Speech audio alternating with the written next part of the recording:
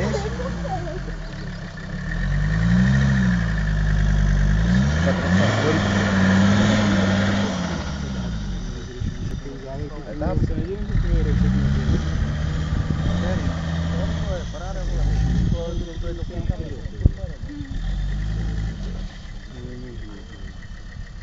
je srač. Klase.